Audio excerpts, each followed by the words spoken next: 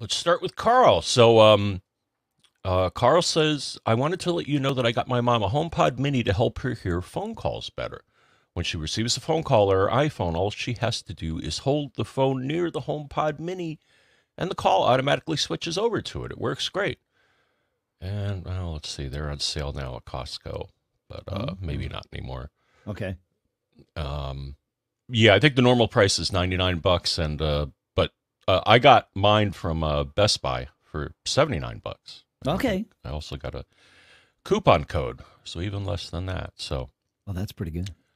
but it's neat, yeah. So I confirmed this. So you know, I did a phone call with my phone, and if you hold it near the the uh, HomePod, all of a sudden, um, a, a little I don't even know what to call it, but it says transfer from iPhone. So I had to uh, actually press on that. Though maybe if you hold the phone next to it long enough, it'll just automatically switch it over. Oh, like so it's like a, it, it's like a little notification that comes up on the phone. That, Mhm. that yeah, interesting, huh? That's pretty cool. I like that. Wow. All right, and uh, uh, John in the chat room at live.macgeekgab.com, which you are welcome to join anytime we're recording, and of course, macgeekgab.com slash calendar will tell you when we're recording. Uh, John in the chat room says that works with any audio, not just phone calls. So if you were playing music or a podcast through your phone, uh, put it near the HomePod and you'll get the same notification. I like this. That's really interesting. Huh.